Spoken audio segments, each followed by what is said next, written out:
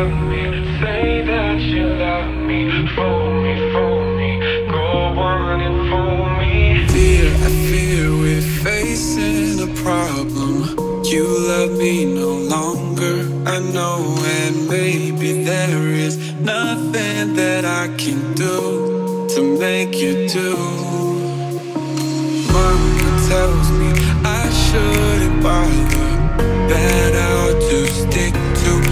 Another man, a man that surely deserves me.